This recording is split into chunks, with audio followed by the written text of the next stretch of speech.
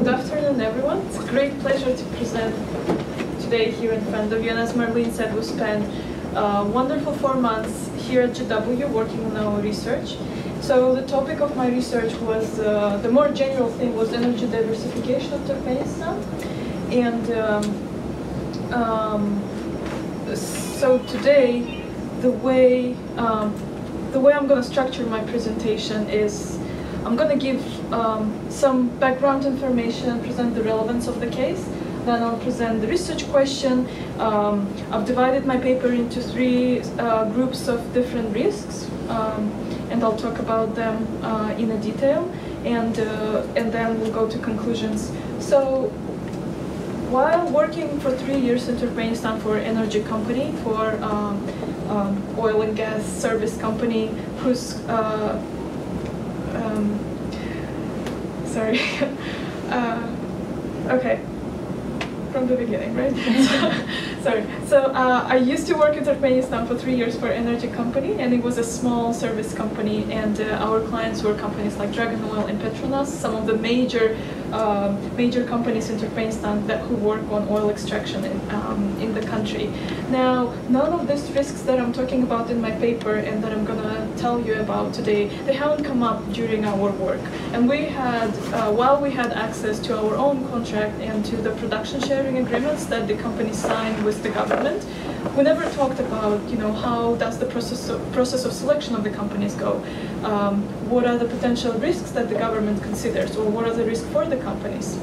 And how, how the cooperation between the company and the host government work in general. Now, um, it signals um, it signals the fact that once the operation started in inside the country, it's very hard to uh, to adjust the contract, and sometimes and at times host governments would need to go uh, through the arbitration uh, process to reconsider um, to reconsider uh, the production sharing agreement. Now, why should we talk about Turkmenistan? You know, why is this case important, and why this particular topic is relevant to um, to current development of the country and the region as a whole? So I highlight um, three major reasons. First is that this is uh, an interesting case study. Turkmenistan is an energy-rich country, just like Indonesia or Burma or Kazakhstan or, or Azerbaijan. It, pre it, uh, it presents the case study where you can test theories uh, on development of a resource-rich country, where you can oppose those theories, where you can add up to, the, to those. Um, the second reason is that it's, a, it's uh, interesting to uh, it, it, was very interesting for me personally to analyze the dynamics that is going on inside the country because it directly affects the foreign policy of the country. And this is something I've talked about uh, on May 18th for those of you who've been here. So uh, thinking and examining how the domestic makeup uh, of the energy industry works helps you to understand better what are the foreign policy objectives and how they are achieved uh, by Turkmenistan. And finally, it is important to talk uh, you know, to make a research on Turkmenistan just for the purpose of data collection.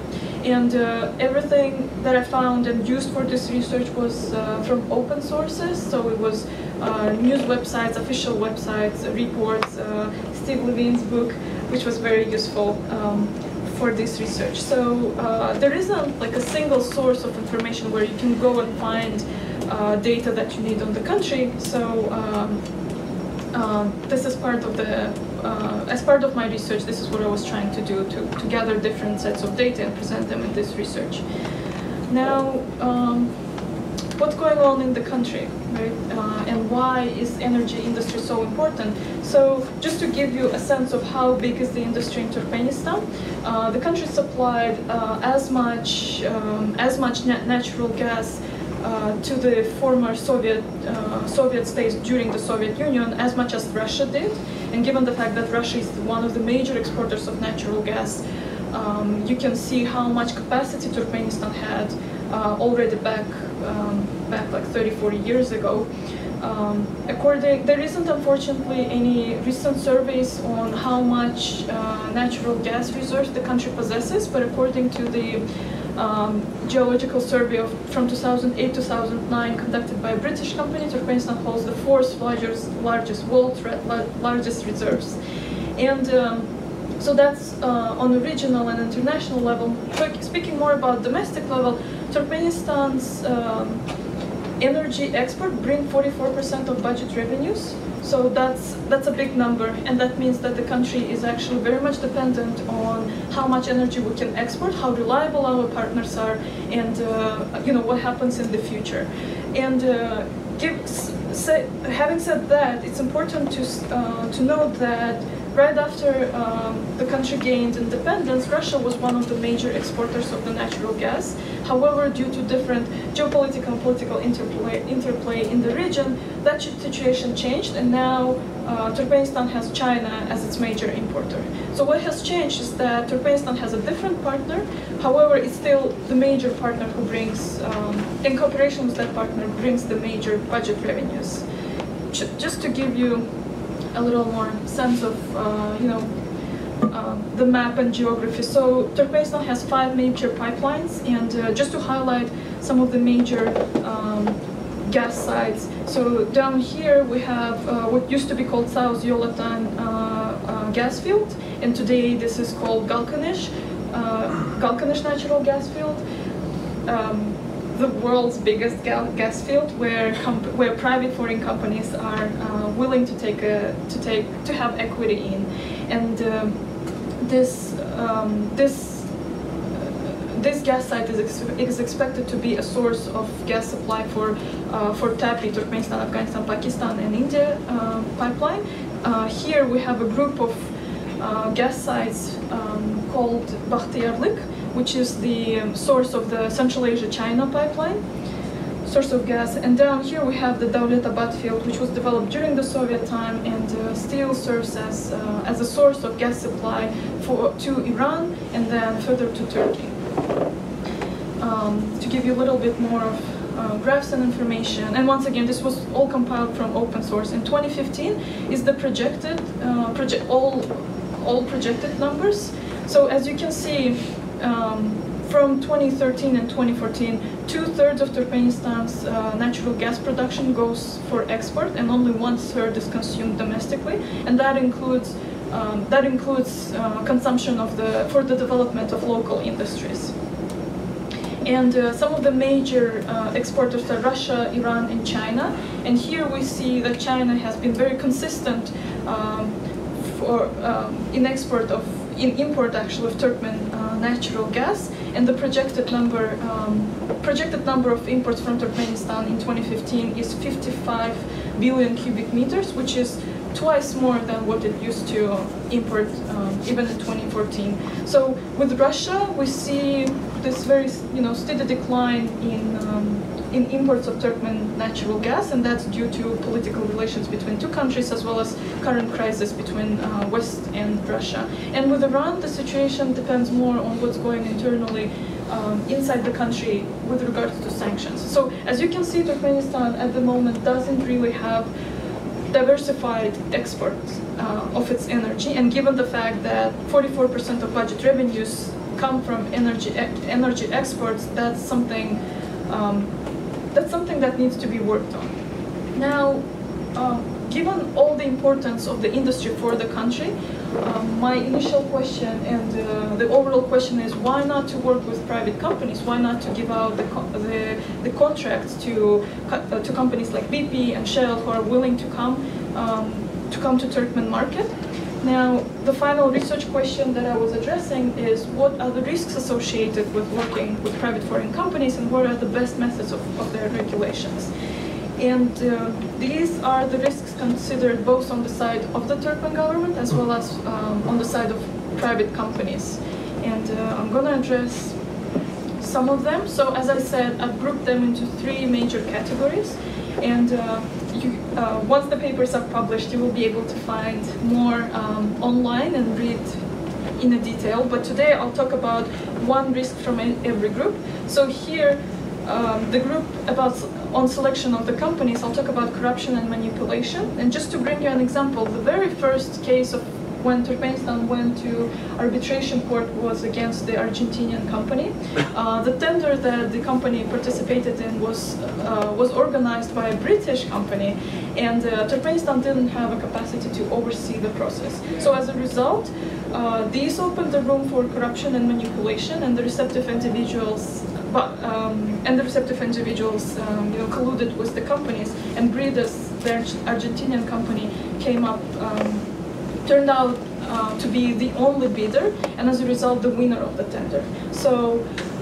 Um, the way to regulate this, this kind of risks is to hold um, track record of the companies and the due diligence, but it's also important to to reinvest money into development of human capacity in the country, where you know the where the tenders can be hold, can be held by um, by local companies, um, you know, pursuing national interests rather than and this uh, rather than foreign companies, which will help to reduce the to reduce the risk of corruption and manipulation from the side of foreign companies.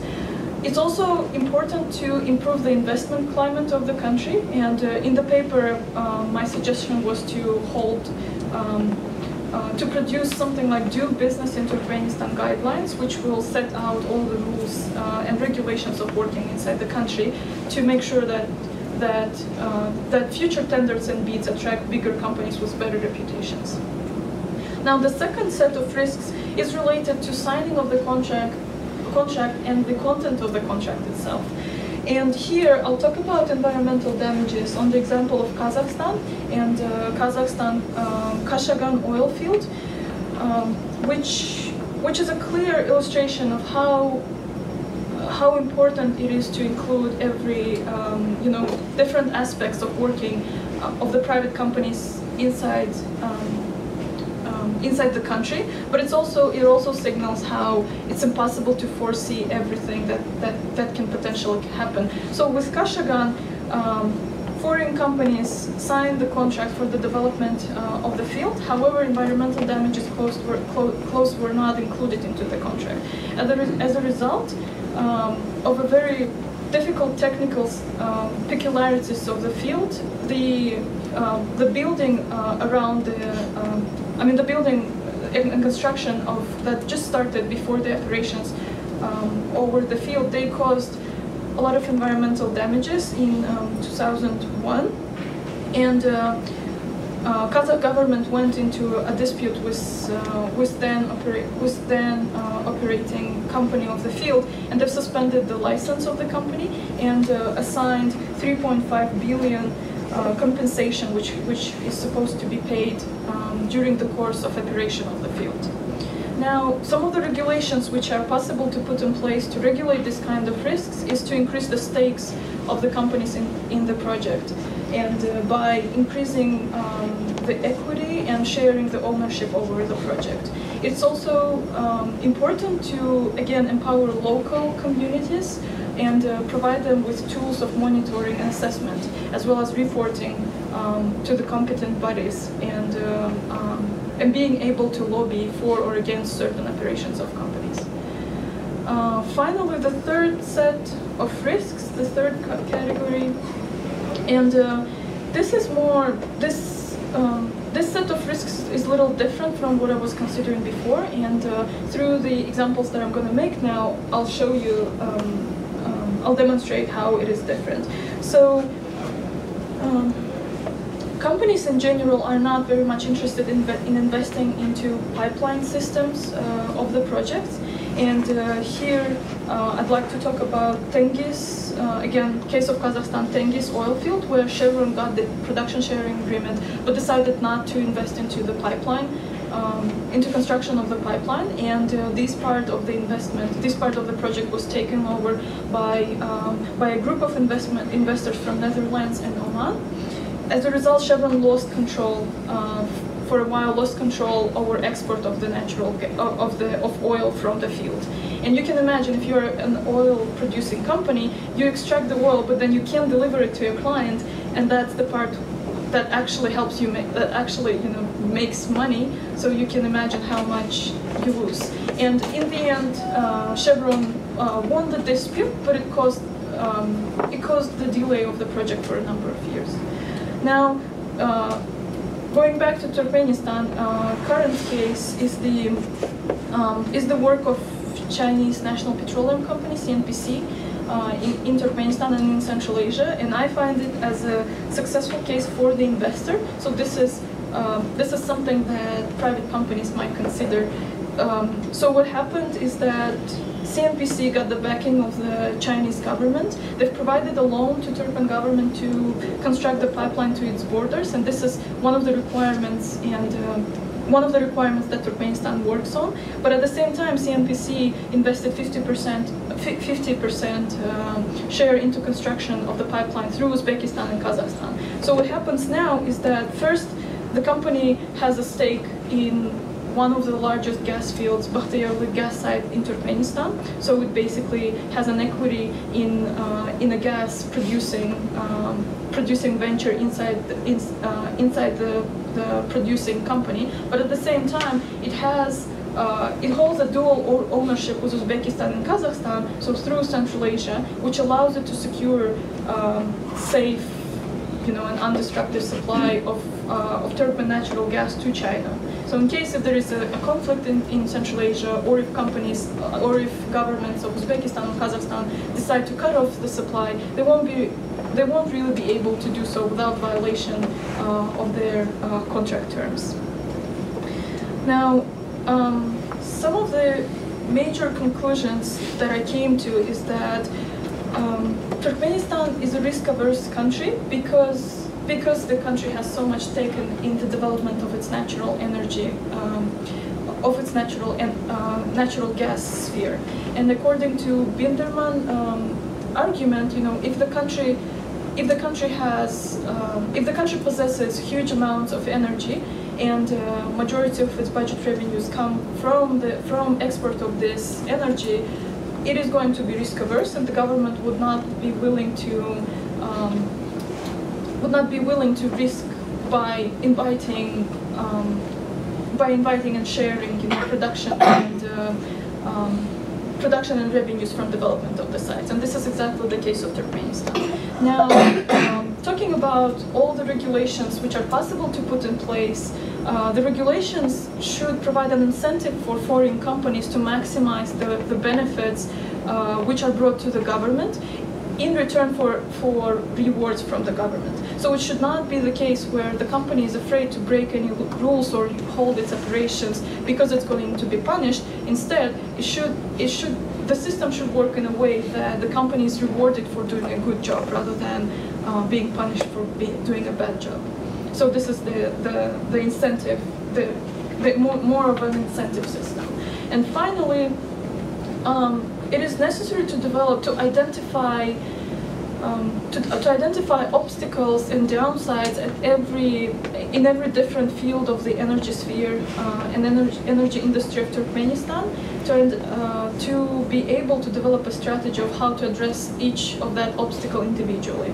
And uh, in the end, hopefully, it's going to lead to construction of a um, construction of a better reward system, as I've already mentioned, rather than uh, punishment system and um, avoiding um, taking risks. Okay, so I will conclude here. Thank you, thank you all for coming, and uh, I'm um, looking forward to your comments and questions.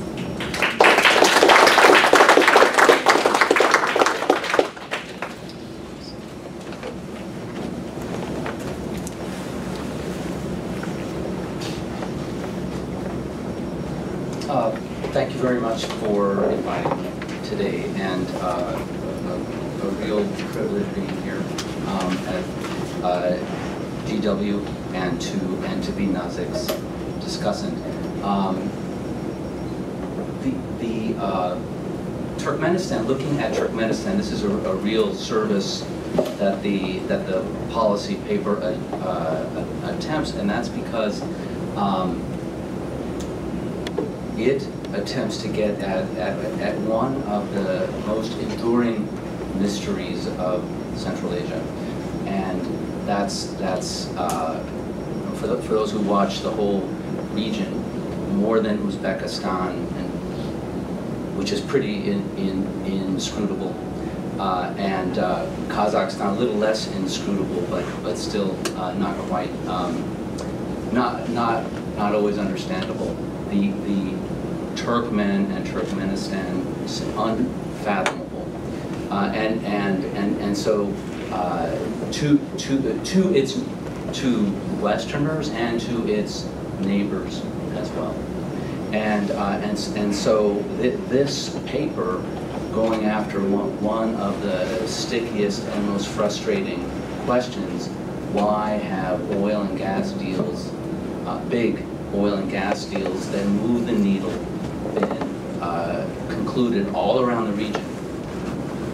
across in uh, the Caucasus, north in Russia, and, and, and of course in Kazakhstan. Why, why have they not been, why have big deals not been concluded in Turkmenistan? What, what is, what's the thing? And, and, and because Turkmenistan has been so uh, lacking in communication, um, what you've gotten is, is uh, a lot of guesswork and, and really um, um, unnecessary and um, uh, um, unconstructive um, uh, conclusions that fall into the category of ridicule.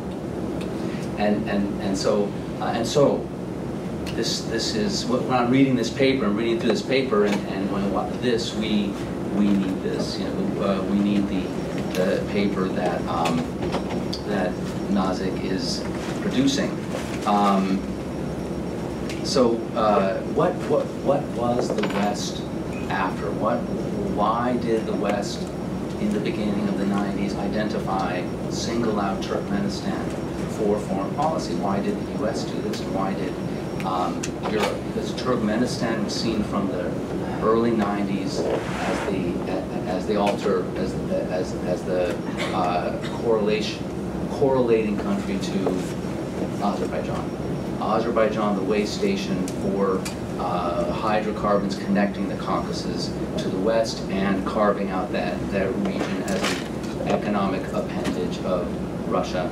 And on the other side, Turkmenistan connecting, and the presumption that Turkmenistan would be the way station for Central Asia to send its resources to connect Central Asia again to the west, a, an independent economic pipeline outside the region, uh, uh, uh, uh, giving the region the capacity, the whole region, uh, Kazakhstan, Uzbekistan, Turkmenistan, the main, uh, the main countries, um, a, a, a, a channel, an independent economic channel, and by extension, an independent political channel outside the region. But it didn't happen, right? So, so uh, uh, Azerbaijan and Georgia built, built their pipeline networks out, and uh, year after year, and, uh, and, and, and attempt after uh, attempt of getting Turkmenistan hook, hooked up, were all, the attempts were all frustrated, and, uh, and, and, and never really clear why. Long before uh, uh, the, the subject of energy diversica- diversification in Europe was ever spoken of.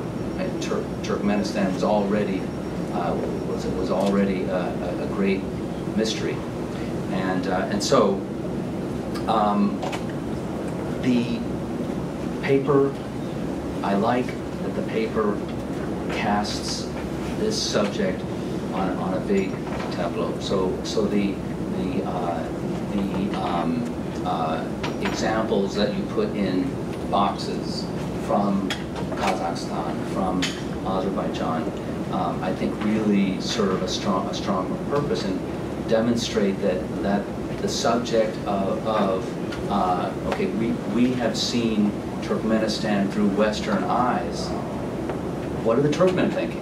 And what, what- from, fr- uh, from the point of view, the Turkmen, they're seeing this parade of Western companies and, uh, and European officials, EU officials, and, uh, and one uh, deputy secret, uh, assistant secretary of state from the United States after another coming through and lavishing praise on uh, Niyazov and then Berdimuhamedov and, and so on. What, what, what was going through Tur- uh, the Turkmen mind? And, and, and by extension, on the big tableau, through that, we can start to understand well, what were the Kazakhs thinking? What were the Azeris thinking? And so on, the, the Uzbeks, and maybe one day we'll understand Putin as well. Um, so, so the, the paper, I, I would like to see more granularity, and, and, and it's, and it's, it's in the following, um, areas. So, so, uh, the, the, the, the paper cites risks that the, that the, that the, uh, the Turkmen, um, uh, perceive a, a laundry list of risks to signing a deal with companies, and that, and the reason is that Carlos Bulgheroni screwed them over.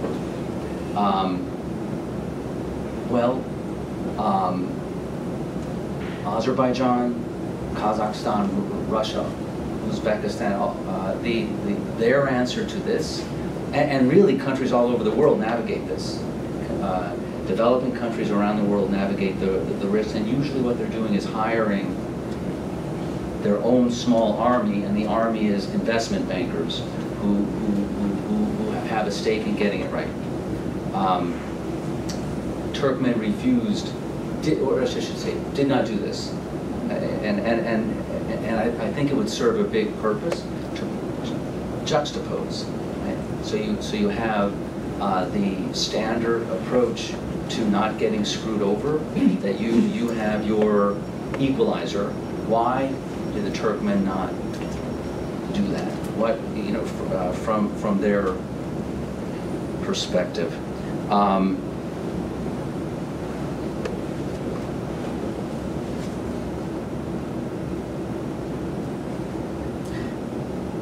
is Exxon and Chevron have been parked in Ashgabat for years, pleading to have a uh, to have a piece, to have an onshore piece of the of the South Yolotan field. Um, are they are they put to the to the Turkmen? Does the Turkmen government put them into the same boat as Bridas? Um, diversification, energy diversification is an indisputable good. Um, which direction from a from to, from from I, I guess from a uh, I would like to see from a Turkmen perspective what's viewed as the if we could have any route what would be that diversified route? But also from your perspective as a, a shrewd independent agnostic analyst which would be the best route? Is it west? Should should Trans-Caspian happen? Is TAPI if if the uh, if if Afghanistan became stable and Iran deal we're on the cusp of a deal with Iran in the paper you you um, you write a couple sentences um, uh, kind of dismissing Iran as a route because uh, Iran itself produces natural gas. Why, why would it want to get in bed with another natural gas uh, producer? And, then- and then just uh, uh, natural antagonism um, between the two countries. It's not satisfying. I, I would like to see a, a, a more robust uh, um, analysis, laying out the facts. Um, it's, uh, it's, it seems to me that that's the most exciting new development that we've got, and it, and it, and it, and it would be very interesting to, um, to hear you really dive into that and, and uh, take it on. Um, and uh, uh,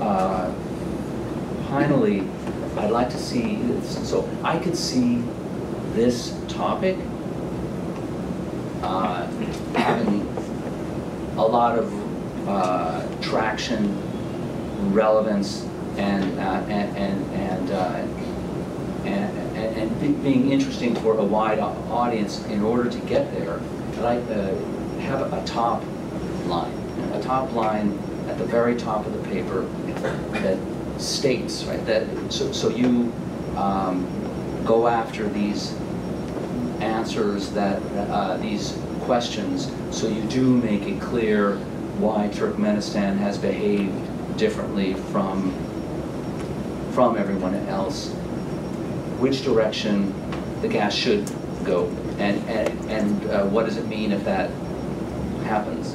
And, um, and, and and then state in a single sentence why that's important. 12, no more than 12 words. Uh, yeah, Thank you very much. Thanks.